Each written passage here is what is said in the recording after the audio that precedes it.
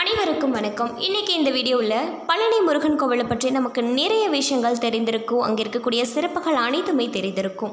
அதோடு மட்டும் இல்லாமல் இன்னைக்கு இந்த வீடியோவில் நம்ம இதை பற்றி பார்த்து தெரிஞ்சுக்க போகிறோம் அப்படின்னா அங்கே இருக்கக்கூடிய ஒரு அதிசயமான விஷயத்தை பற்றி தான் இது வரைக்கும் நீங்கள் கேள்விப்படாத நிறைய அதிசயங்கள் எல்லாமே இருக்குது அதை நீங்கள் தெரிஞ்சுக்கணும் அப்படின்னா இந்த வீடியோவை ஸ்கிப் பண்ணாமல் கடைசி வரைக்கும் பாருங்கள் நீங்கள் இப்போ தான் ஃபஸ்ட் டைம் நம்மளுடைய அறியாத தகவல் சேனலை பார்க்குறதா இருந்தால் மறக்காமல் நம்ம சேனலை சப்ஸ்கிரைப் பண்ணிவிடுங்க கூடவே நோட்டிஃபிகேஷனுக்கான பெல் ஐக்கானையும் மறக்காமல் ப்ரெஸ் பண்ணிவிடுங்க வாங்க இப்போ நம்ம வீடியோக்குள்ளே போகலாம்.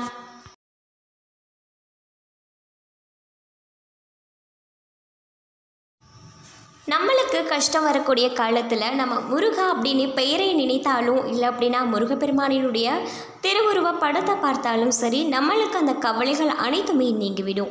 இது நிறைய பேருக்கு நடந்த ஒரு விஷயமாக தான் இருக்குது பழனி முருகன் கோவில் அப்படிங்கிறது முருகப்பெருமானினுடைய அறுபடை வீடுகளில் மூன்றாவது படை வீடாக தான் இருக்குது இந்த கோவில் பார்த்தீங்க அப்படின்னா சுமார் இரண்டாயிரம் ஆண்டுகள் ரொம்பவே பழமை வாய்ந்த கோவில் மற்றும் பிரசித்தி பெற்ற ஒரு கோவிலாக தான் இருக்குது முருகன் கோவிலுக்கு சென்று வந்தாலே நம்மளுடைய பாதி பிரச்சனைகள் அனைத்துமே தீர்ந்துவிடும். முருகப்பெருமான் முதன் முதலில் கோபித்து வந்து நின்ற ஒரு தளமாக இருப்பதனால மலை அடிவாரத்தில் இருக்கக்கூடிய திரு ஆவினன்குடி தழுந்தா மூன்றாவது படைவீடாக இருக்கு. இங்கு முருகப்பெருமான் மழை மீது அமர்ந்த கொழுத்தில் பக்தர்கள் அனைவருக்குமே காட்சி கொடுக்குறாங்க. முருகன் குழந்தை வடிவமாக இருப்பதனால இவருடன் வள்ளி தெய்வானை அப்படிங்கிறவங்க இல்லை. இவர் சிவபெருமானினுடைய அம்சம் அப்படிங்கிறதுனால இவரது கருவறை சுற்றுச்சுவரில் கோஷ்டம் அதாவது தட்சிணாமூர்த்தி பிரகாரத்தில் பைரவர் சண்டிகேஸ்வரரும் இருக்காங்க. பழனிக்கு செல்பவங்க முதலில் எங்கிருந்து நான்கு கிலோமீட்டர் தூரத்தில் இருக்கக்கூடிய பெருவுடையாரை தரிசித்துவிட்டு பின்பும் பெரிய நாயகியையும் அடுத்து மலையடிவாரத்தில் இருக்கக்கூடிய திரு ஆவினன்குடி குழந்தை வேலாயுதரையும் வணங்க வேண்டும். அதன் பின்புதான் மலைக்கோவிலில் தண்டாயுதபாணியை வணங்க வேண்டும். இதுதான் ஐதீகமான ஒரு விஷயம். இதை நம்ம சிலருமே நம்ம பின்பற்றுவதே கிடையாது. தமிழகத்தில் பார்த்தோம் அப்படின்னா மலைக்கோவில்களில் பழனி முருகன் கோவிலும் ஒன்று. அருள்மிகு தண்டாயுதபாணி சுவாமி கோவில் அப்படிங்கிறது திண்டுக்கல் மாவட்டத்தில் தான் அமைந்திருக்கு. முருகனுக்கு உரிய அறுபடி வீடுகளில் மூன்றாம் படி வீடாக பழனி கோவில் இருப்பது அப்படின்றது நமக்கு எல்லோருக்குமே தெரிந்த ஒரு விஷயம்தான். அதாவது கோவில் அமர்ந்திருக்கக்கூடிய மலையினுடைய உயரம் பார்த்தீங்க அப்படின்னா நூற்றி ஐம்பது மீட்டர். மொத்தமாக நம்ம அறுநூற்றி தொண்ணூற்றி மூன்று படிக்கட்டுகளை கடந்து தான் நம்ம சுவாமியை தரிசனம் செய்ய முடியும். மலையை சுற்றி இரண்டு புள்ளி நான்கு கிலோமீட்டர் கிரிவல பாதையுமே இருக்குது இன்னும் நம்ம கோவிலுக்கு சென்று வந்தோம் அப்படின்னா இந்த ஒரு விஷயத்தை நம்ம பார்க்கலாம். ஒவ்வொரு கோவில்களுக்குமே ஒவ்வொரு விதமான தள வரலாறு புராண கதைகள் இருக்கும் இல்லையா? அதே போல தான் பழனி முருகன் கோவிலுக்குமே இருக்குது இந்த கோவிலினுடைய வரலாறு என்ன அப்படின்னு பார்த்தோன்னா ஞானப்பழத்தில் இருந்து தான் ஆரம்பிக்கிறது. அதாவது கழகம் பண்ணுவதற்கென்றே பிறந்தவர் தான் நாரதர் அப்படின்ற ஒரு விஷயம் நம்ம கேள்விப்பட்ட ஒரு விஷயம்தான். ஞானப்பழத்தை எடுத்துக்கொண்டு கைலாச மலையில் இருக்கக்கூடிய சிவபெருமானையும் பார்வதியையும் பார்க்க சென்றிருக்காங்க. பழத்தை கொடுத்து இந்த பழத்தை நம்ம சாப்பிட்டு வந்தோம் அப்படின்னா அதிகப்படியான ஞானம் பெறலாம் அப்படின்னு சொல்லியிருக்காங்க. மேலும் முழுமையான ஞானப்பழத்தையும் ஒருவரே சாப்பிட வேண்டும் அப்படிங்கிற ஒரு விதியானது இருக்குது சிவபெருமானை தன்னுடைய மகன்களான முருகனுக்கும் பிள்ளையாருக்கும் பகிர்ந்தளிக்க விரும்பியிருக்கிறாரு. தன்னுடைய இரு மகன்களையுமே அழித்து உலகத்தை மூன்று முறை சுற்றி வருபவருக்கு ஞானப்பழம் பரிசு அப்படின்னு சொல்லிட்டு சிவபெருமான் சொல்லியிருக்காங்க. இதனை கேட்டு முருகனும் தன்னுடைய வாகனமான மயிலை எடுத்துக்கொண்டு உலகம் சுற்ற கிளம்பிட்டாரு. பிள்ளையாரோ தந்தையும் தாயுமே நீங்கள் தான் எனக்கு உலகம் அப்படின்னு சொல்லிட்டு சிவபெருமானையும் பார்வதி தேவியும் சுற்றி வந்து ஞானப்பழத்தை பெற்றுக்கொண்டாங்க உலகத்தை வளம் வந்து ஞானப்பழத்தை கேட்ட முருகப்பெருமான் நடந்தது அறிந்து ரொம்பவே கோபப்பட்டுட்டாரு. இதனால தான் மலையில் வந்து தங்கிவிட்டார் அப்படின்னே கூட சொல்லலாம். இந்த விஷயம் எல்லாமே நமக்கு தெரிந்த ஒரு விஷயம்தான். அதோடு சிவபெருமானும் பார்வதியும் இங்கே வந்து முருகனையும் சமாதானப்படுத்தியிருக்காங்க. ஞானப்பழமான உனக்கு இன்னொரு பழம் அப்படின்னு சொல்லிட்டு கூறி சமாதானம் செய்திருக்காங்க. அதனால தான் முருகனை பழம் நீ அப்படின்னு சொல்லிட்டு இந்த இடம் பழனி அப்படின்னு பெயர் பெற்றதாகவும் சொல்லப்படுவதுண்டு. மலை அடிவாரத்தில் திரு ஆவினான்குடி அப்படின்றது குழந்தை வேலாயுத சுவாமி கோவில்களுமே இருக்கு. இந்த கோவில் தான் அறுப்படை வீடுகளில் மூன்றாவது ஒரு வீடாக சொல்லப்படக்கூடிய ஒரு விஷயமாகவே இருக்குது அதோடு இந்த இதற்குமே இன்னொரு கதை இருக்குது அப்படின்னே கூட சொல்லலாம். அகஸ்திய மாமுனிவர் இருக்காங்க இல்லையா? அவங்க தன்னுடைய இருப்பிடத்திற்கு சிவகிரி சத்கிரி அப்படின்ற இரண்டு மலைகளையுமே எடுத்து வர கிளம்பியிருக்கிறாங்க தன்னுடைய சேவகனான இடும்பனிடம் இந்த மலைகளை தூக்கி வர சொல்லியிருக்கிறாரு. அவங்களும் காவடி போல இரண்டு மலைகளை கம்பல் கட்டி தோளில் சுமந்து சென்றிருக்காங்க. செல்லும் வழியில் தூக்க முடியாமல் ரொம்பவே சோர்வாயிட்டு அந்த மலையை கீழே வைத்து விடுறாங்க.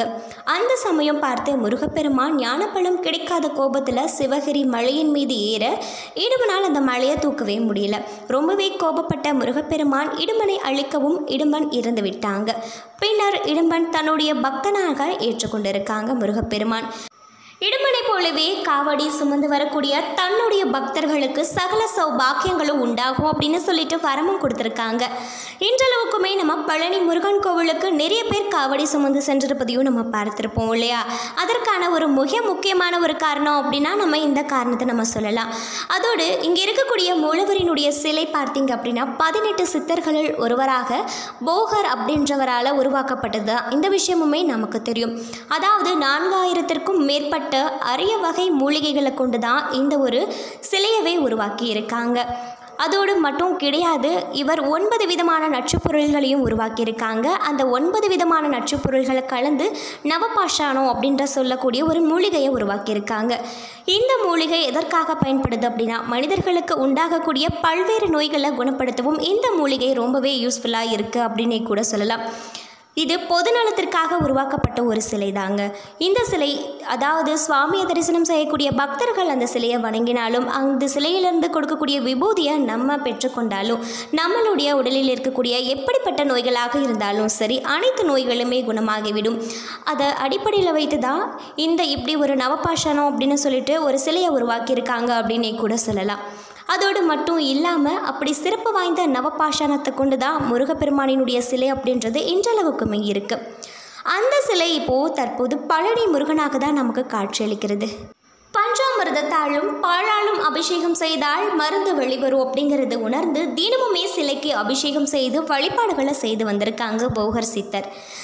தன்னுடைய சமாதியை போகர் சித்தர் பழனி கோவிலிலேயே அமைத்து கொண்டாங்க. இன்றளவுக்குமே நம்ம பழனி கோவிலுக்கு சென்று வந்தோம் அப்படின்னா நம்ம சுவாமியை தரிசனம் செய்வோம். அடுத்தபடியாக நம்ம தரிசனம் செய்யக்கூடிய ஒரு இடம் என்ன அப்படின்னா போகர் சித்தரினுடைய சமாதி. கண்டிப்பாக பழனி கோவிலுக்கு செல்லாதவங்க யாருமே இருக்க மாட்டாங்க. இந்த வீடியோ பார்த்துட்டு இருக்க நீங்களும் கூட அடுத்த முறை பழனி கோவிலுக்கு சென்று வந்தீங்க அப்படின்னா நிச்சயமாக நீங்கள் போகர் சித்தரினுடைய சமாதிகளை நீங்கள் பார்க்கலாம். முன்னொரு காலத்தில் கோவிலில் இருக்கக்கூடிய இந்த மூலவர் சிலை அப்படிங்கிறது காணாமல் போய்விட்டதான் அந்த சமயம் முருகப்பெருமான் அவ்வழியே வந்த சேரமன்னன் சேரமான் பெருமான் கனவில் தோன்றி சிலையை மீட்டு மலை மீது கோவில் அமைக்குமாறும் சொல்லியிருக்காங்க. அதன் பின்பு சேரமன்னனே தான் இந்த கோவிலை கட்டினாங்க அப்படின்ற இன்னொரு தகவலும் இருக்குது இது எந்த அளவிற்கு உண்மை அப்படின்ற விஷயம்லாம் தெரியல. பெரும்பாலும் பார்த்தீங்க அப்படின்னா தமிழக கோவில்களிலேயே மூலவர் சிலை அப்படிங்கிறது கிழக்கு பார்த்தவாறு தான் இருக்கும். ஆனால் இந்த தளத்தில் மட்டும்தான் வடக்கு பார்த்து அமைந்திருக்கு. இதற்கு காரணம் என்ன அப்படின்னா சேர மன்னர்கள் வடக்கு திசையில் ஆதிக்கம் செலுத்தியது. அதனால தான் இப்படி ஒரு விஷயம் இருக்குமோ அப்படின்ற ஒரு சந்தேகமான ஒரு விஷயமாக தான் இருக்குது அதோடு மட்டும் இல்லாமல் தினசரி இங்கு ஆறு கால பூஜைகள் அப்படிங்கிறது தினந்தோறுமே நடந்து கொண்டு தான் இருக்குது விழாக்கள் என்னென்ன விழாக்கள் எல்லாம் அங்கே ஃபேமஸ் அப்படின்னு பார்த்தீங்கன்னா விழாக்களை பொறுத்தவரை தைப்பூசம் பங்குனி உத்திரம் வைகாசி விசாகம் ஆடி கிருத்திகை கந்த சஷ்டி விழா இந்த மாதிரியெல்லாம் விழாக்கள் அனைத்துமே இங்கே ரொம்பவே சிறப்பாக கொண்டாடப்படக்கூடிய ஒரு விஷயமாக தான் இருக்குது முருகப்பெருமானிடம் நம்ம நிறைய வேண்டுதல்களை வைப்போம் இல்லையா? அப்படி அந்த வேண்டுதல்கள் நிறைவேறியதுமே எந்த மாதிரியெல்லாம் நேர்த்திக்கடன்களை செலுத்துவாங்க அப்படின்னா பக்தர்கள் தங்களுடைய நேர்த்திக்கடன்களை காவடி எடுத்தும் அழகு குத்தியும் தங்களுடைய நேர்த்திக்கடன்களை செலுத்துவாங்க. அதோடு மட்டும் இல்லாமல் நம்ம பெரும்பாலும் பழனி முருகன் கோவிலுக்கு சென்று வந்தோம் அப்படின்னா எல்லோருமே ராஜ அலங்காரத்தில் முருகனை எப்படியாவது பார்த்து விட வேண்டும் அப்படின்னு தானே நினைப்போம். நம்ம ராஜ அலங்காரத்தில் பார்ப்பதை விட ஆண்டி கோலத்தில் நம்ம யாருமே தரிசனம் செய்ய விரும்ப மாட்டேங்கிறோம்.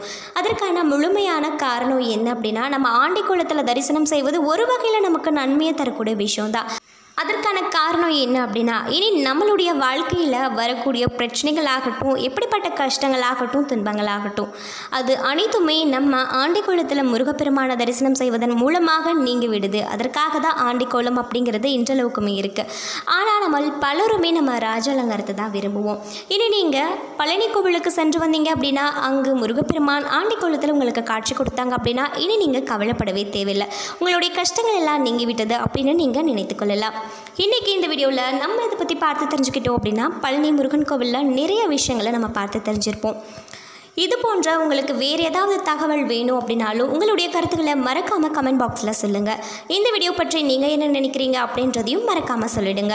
நீங்கள் இப்போ தான் ஃபர்ஸ்ட் டைம் நம்மளுடைய அறியாத தகவல் சேனலை பார்க்குறதா இருந்தால் மறக்காமல் நம்மளுடைய சேனலை சப்ஸ்கிரைப் பண்ணிவிடுங்க கூடவே நோட்டிஃபிகேஷனுக்கான பெல் ஐக்கானையும் மறக்காமல் ப்ரெஸ் பண்ணிவிடுங்க நன்றி நண்பர்களே.